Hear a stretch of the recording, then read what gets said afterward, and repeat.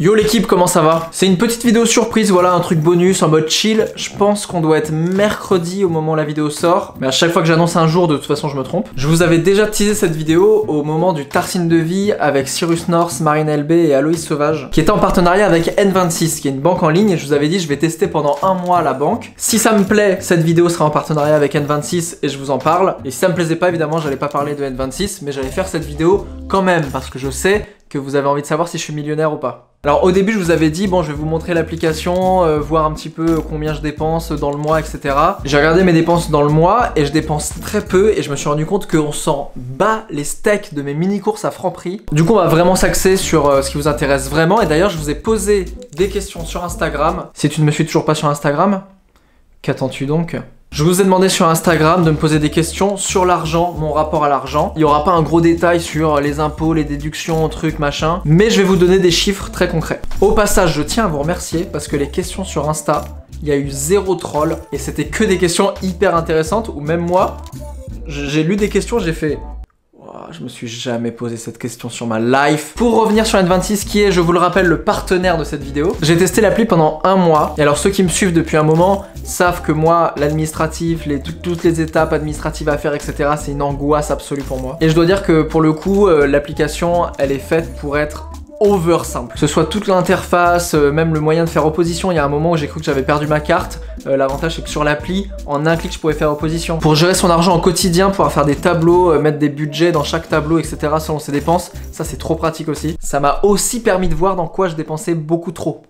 Tu connais je sais qu'il y a beaucoup d'expats qui me suivent et vous êtes énormément à l'utiliser aussi parce qu'il n'y a pas de frais bancaires. Et je sais que sur des banques classiques, dès qu'on est à l'étranger, ça peut devenir une angoisse en termes de retrait, de frais, etc. Du coup, j'ai juste hâte de ouf d'utiliser l'appli quand on pourra ressortir et que je vais commencer à vlogger à l'étranger. J'annonce des concepts qui ne sont pas encore écrits. N'hésitez pas dans les commentaires d'ailleurs à me dire si vous avez testé N26. Moi je vais encore le tester je pense sur les prochains mois pour voir si ça peut vraiment devenir une habitude de consommation pour moi ou pas. Allez maintenant je vous propose qu'on passe à ce qui vous intéresse tous.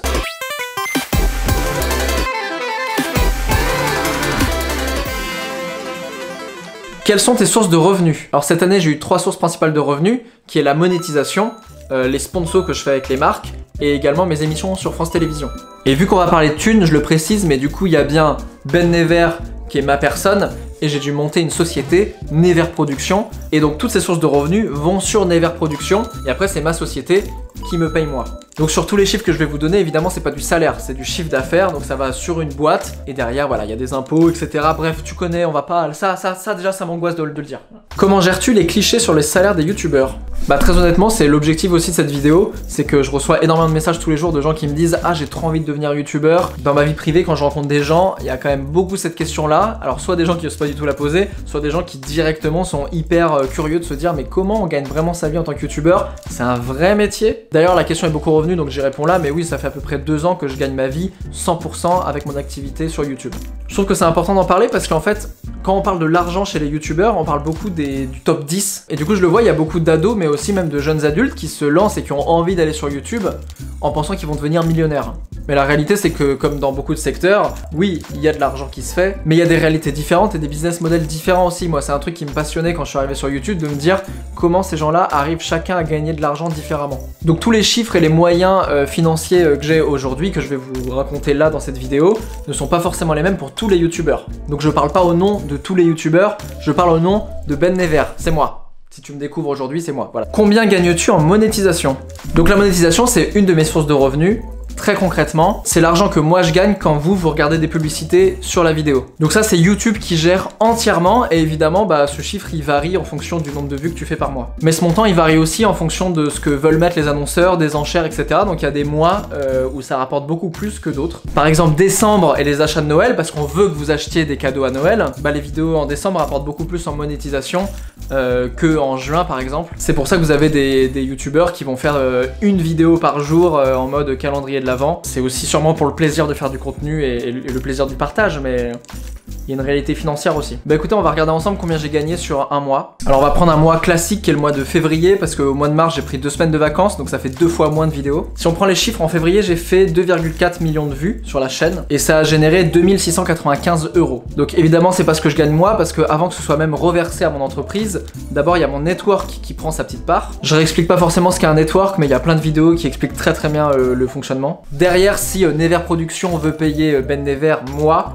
euh, il y a à peu près la moitié en charge salariale. Donc évidemment c'est compliqué de vivre uniquement sur cette somme, euh, d'autant plus qu'elle est hyper aléatoire, d'un mois à l'autre ça peut changer, et c'est assez opaque aussi de la part de YouTube, on sait pas forcément ce qu'on va gagner à la fin du mois. As-tu connu la galère financière au début de ton activité? Bah ça j'en ai un petit peu parlé, au début j'hésitais parce que c'est très tabou. En tout cas j'avais vraiment honte de dire que j'avais été en galère financière mais de ouf pendant très longtemps. Et notamment au lancement de cette chaîne où j'ai eu vraiment des moments où je me disais qu'est-ce que je suis venu faire dans cette galère? Mais oui je vous renvoie à une émission que j'ai fait là, il y a un podcast hyper long que j'ai fait avec Oumar où on parle un petit peu de ses galères financières, euh, même euh, la vidéo sur mes échecs où je vous raconte un peu toute l'histoire de l'émission Insomnie. Et pareil en description, je vous mets le lien de Popcorn où j'en ai parlé pas mal pendant l'émission. Donc oui, évidemment pour rappel, ce que je gagne aujourd'hui n'est clairement pas ce que je gagnais au début. Loin de là. As-tu déjà refusé une sponsor très bien payée et pourquoi? Bah oui, en vrai, j'en refuse même plusieurs par jour. Ce qui est aussi un luxe en ce moment, c'est que bah il y a beaucoup de marques qui me proposent de faire euh, des placements de produits, donc ça c'est cool de faire des vrais partenariats ensemble. Donc j'ai aussi le luxe aujourd'hui de me dire que si je refuse, je ne me mets pas en galère financière non plus. Ce qui n'a pas toujours été le cas, mais malgré tout, j'ai toujours refusé des placements de produits qui me plaisaient pas, des trucs où il fallait mettre en avant une montre et dire Oh là là, cette montre est vraiment excellent au milieu d'une interview. J'ai toujours préféré manger des pâtes plutôt que de faire un truc où je sentais que je vendais mon âme au diable. Et pourquoi je refuse, c'est souvent parce que euh, soit les valeurs de la marque me plaisent pas du tout. J'ai aussi refusé des partenariats qui essayaient de me censurer dans ce que je disais. Parce que sur cette chaîne, en fait, on a aussi une liberté d'expression qui est chambée, et moi qui me paraît hyper important, et je pense que c'est ce que vous aimez aussi dessus. Donc ça m'est même arrivé d'annuler un placement, euh, même avant la publication, parce qu'ils essayaient de censurer un truc qui me paraissait hyper important dans la vidéo. Donc j'ai dit, bah écoutez, tant pis, c'est à mes frais, toute l'émission est à mes frais, mais en fait, je préfère pas qu'on fasse le truc ensemble. Et également, je marche énormément en relation humain et ça m'est arrivé de refuser des partenariats parce que je sentais pas trop euh, la manière de fonctionner de la personne en face de moi. Je sentais que voilà, on n'avait pas la même notion du business. Combien coûte une émission entre mecs ou tartine de vie à produire? Donc là, on est sur la deuxième source de revenus dont je vous parlais qui est le placement de produits. Là, c'est une marque qui me contacte et qui me dit écoute, j'ai envie qu'on travaille ensemble. Sur cette vidéo, par exemple, c'est N26 qui m'a dit écoute, on a envie de rendre moins tabou l'argent, qu'est-ce qu'on peut faire ensemble? C'est pour ça que j'aurais proposé le tartine de vie où il y a notamment une grosse partie euh, dans la vidéo où on parle de notion à l'argent et on explique concrètement quelle est notre relation à l'argent. Et cette vidéo c'est pareil, je leur ai dit également, bah moi aussi j'ai envie de rendre l'argent moins tabou, est-ce qu'on peut faire une deuxième vidéo ensemble si l'application me plaît, où j'explique concrètement le business model d'un youtubeur et où je peux expliquer aussi combien je gagne? Et donc là ils m'ont dit ok ta carte blanche, tu racontes ce que tu veux. Eux ils savent que bah N26 euh, est mis en avant, donc euh, potentiellement euh, les centaines de milliers de personnes qui regardent cette vidéo connaîtront N26. Et derrière ils ont une vidéo qui correspond entièrement à leur positionnement et leur valeur de marque, de démystifier l'argent. Sur mes émissions, là on va parler des émissions en plateau parce que c'est ce que je fais majoritairement. Donc les entre mecs, les tartines de vie, etc. On est rarement sur un prix à l'émission parce qu'en fait je fonctionne en package, en session de tournage. Ça me permet notamment bah, de réduire les coûts et d'avoir également des vidéos euh, en plateau qui me permettent de pas avoir de placement de produit dessus. Parce que évidemment ça me coûterait énormément d'argent de, réunir toute l'équipe technique, le plateau pour faire une vidéo euh, qui bah, en fait euh, n'a pas de placement et n'est pas n'a pas de business model en fait parce que vous le voyez qu'en monétisation ce sera jamais rentable. Ça me permet aussi de m'en battre la race d'être démonétisé même si ça me fait chier que mes vidéos soient moins mises en avant je me dis à chaque fois, bah c'est cool, mais au moins ça m'a pas coûté de l'argent en fait de faire cette vidéo.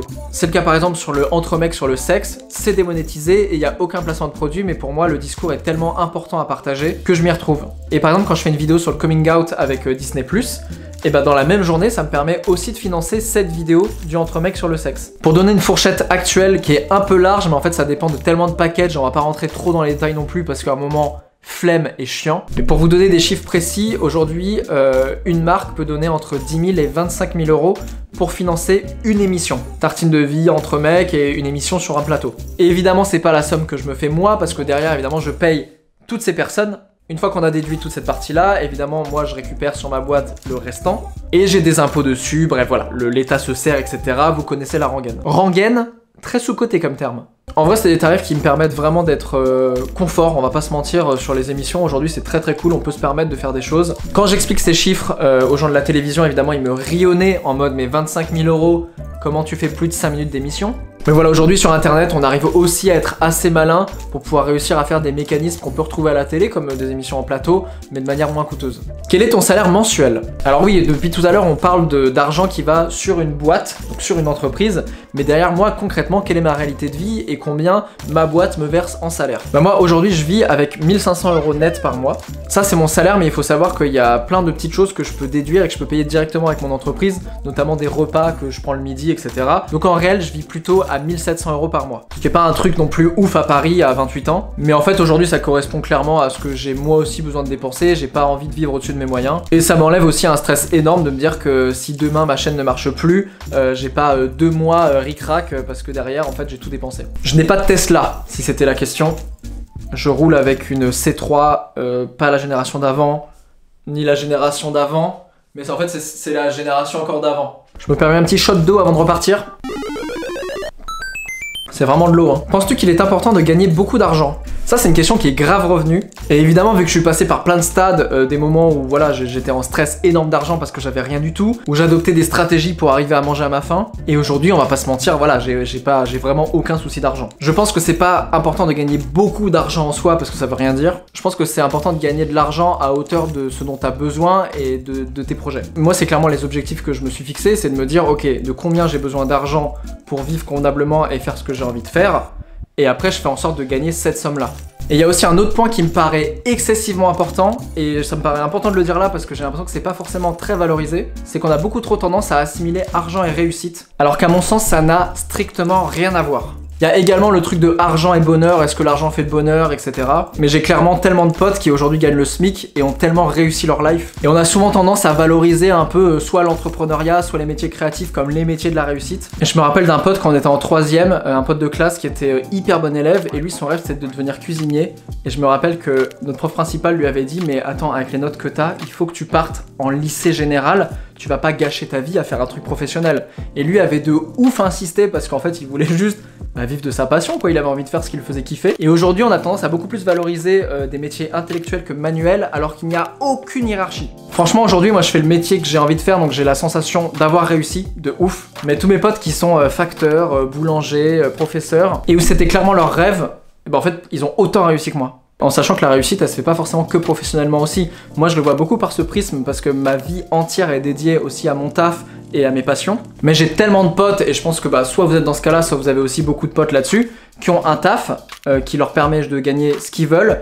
pour pouvoir avoir masse de temps autour de leur taf pour faire vraiment ce qu'ils ont envie. Voilà, c'était juste une petite aparté comme ça, mais ça me paraissait important aussi de pas forcément lier réussite et argent. La réussite pour moi, c'est vraiment cet état où vous sentez que vous êtes entièrement aligné avec euh, euh, vos objectifs et, ce à quoi vous aspirez. Et pour moi, l'argent, c'est un des moyens d'arriver à ça, mais c'est clairement pas le seul. L'amour qu'on me porte, par exemple, dans mon couple, dans ma famille, par mes amis, etc., mon entourage, que je suis bien entouré, pour moi, c'est clairement au même niveau que l'argent dans les moyens qui me permettent de constater si j'ai réussi ou pas. Donc en vrai, bah, je vous invite tous à vous demander de combien j'ai besoin d'argent concrètement pour sentir que j'ai réussi et pour faire ce que j'ai envie de faire en fait. Y a-t-il des vautours qui veulent gérer l'argent des youtubeurs? Les vautours sont attirés par l'argent, peu importe le milieu. Ne trouves-tu pas que l'argent appelle l'argent? Bah ouais, de ouf. Et je trouve d'ailleurs que c'est un peu le piège de l'argent aussi, d'avoir cette sensation que c'est euh, la finalité et pas le moyen. Et c'est comme ça que vous avez des gens mais qui gagnent énormément d'argent et qui sont pas heureux et qui se sentent terriblement seuls et qui ont la sensation même d'avoir tellement de thunes mais de pas savoir comment le dépenser. Comment réinvestis-tu l'argent gagné? Alors là, c'est vraiment des logiques euh, entrepreneuriales et de création. Aujourd'hui, j'ai la chance aussi, en dehors du salaire que je me dégage, de pouvoir avoir aussi bah, ce qu'on appelle de la trésorerie, donc de l'argent de côté sur ma boîte. Et aujourd'hui, bah, je le réinvestis complètement dans mes émissions. Ça me permet de faire des pilotes, donc de tester des émissions, comme je l'ai fait sur Entre Mecs, mais à l'époque où c'était avec euh, mon argent personnel. Tartine de vie, par exemple, Tartine de vie, j'ai pu le lancer grâce à l'argent que j'avais gagné des OP pour pouvoir tester un nouveau format. Parce qu'on va pas se mentir, il y a pratiquement aucune marque qui fait confiance sur des formats euh, inexistants. Je vous ramène encore une fois à la vidéo Mes échecs où je vous raconte à quel point Insomnie n'a failli jamais voir le jour. Voilà, donc là il y a des pilotes qui arrivent. Euh, je vous mets un petit extrait très rapide de la prochaine émission. Chi Fou, mi. Je coupe. Ah, tu coupes la feuille. Exactement. C'est à moi. Tu dois montrer la dernière photo de ton téléphone. La dernière photo Voilà, donc ça par exemple c'est une émission voilà, qu'on a, qu'on a produit grâce à l'argent généré par la boîte. Et là je vais tester plein plein d'autres émissions, on a des concepts assez fous. J'ai tellement hâte de vous montrer ça. Allez, on prend une dernière question. Gardes-tu de l'argent de côté pour un gros projet? Je me refais un petit shot d'eau parce que je parle beaucoup. C'est vraiment de l'eau, hein. il y en a qui vont croire que le running gag c'est qu'en fait je bois de la vodka, mais vraiment c'est de l'eau. Ça c'est très cool parce que j'en ai jamais parlé, mais mon objectif aussi c'est de mettre beaucoup d'argent de côté pour aller de plus en plus vers l'indépendance. Pour moi l'argent c'est ce qui va faire que je vais être le plus indépendant possible. Aujourd'hui, bah, je loue des studios, j'ai des accords avec mon network, mais l'objectif là à moyen terme, c'est d'avoir mon propre studio. C'est-à-dire vraiment d'avoir mes locaux, euh, voilà, de me dire euh, ça c'est mes bureaux et je peux tourner euh, quand je veux avec mon matos, etc. Tout sera beaucoup plus simple en termes de planning, en termes de prod, enfin vraiment tout, tout est plus simple dans tout. Si jamais je veux repeindre un mur parce que j'ai une idée de concept, je repeins le mur, j'ai des comptes à rendre à personne. Et l'objectif sur le long terme, c'est une fois que j'ai ce studio là, de pouvoir devenir un espèce de label de bienveillance sur YouTube et de commencer à produire des talents autres que moi, euh, d'avoir voilà ce, ce, label Ben Never et dire il y a d'autres talents qui se lancent sur YouTube et qui ont les mêmes valeurs que moi, qui défendent les mêmes choses, et bah j'ai envie de pouvoir aujourd'hui avec ma petite expérience les épauler, donc pouvoir leur proposer bah, mon studio, pouvoir produire leur contenu, de pouvoir les accompagner aussi sur l'expertise parce que bah voilà en trois ans de chaîne YouTube j'ai aussi vu euh, l'évolution, ce qui marchait, ce qui marchait moins bien, euh, des erreurs énormes que j'ai faites, que ce soit euh, dans les vidéos mais aussi dans la partie business, et éviter à la plupart des créateurs bah, les mauvaises rencontres que même moi j'ai pu faire en fait et où j'ai pu me faire avoir par les vautours. J'espère que cette vidéo vous a plu. Ça me paraît hyper important de, rendre l'argent beaucoup moins tabou parce que je trouve que plus on le rend tabou, moins on en parle, plus ça le sacralise. On a l'impression que c'est l'objectif ultime et que moi je fais pas des projets euh, pour euh, gagner de l'argent et toujours plus d'argent. Je fais des projets pour me faire kiffer et si ça génère de l'argent, c'est trop bien parce que ça me permet d'en vivre. Merci encore une fois à N26 qui est partenaire de cette vidéo. Allez tester, dites-moi si vous kiffez. Euh, en plus, on peut créer des comptes communs partagés. Ça c'est trop trop bien avec les gens qui ont N26. Faisons des comptes partagés, je vous envoie de l'oseille comme ça. Prenez soin de vous, on se retrouve dimanche pour euh, Comment ça va vraiment, le numéro 2. Hyper intéressant, il va y avoir du full love. À dimanche, salut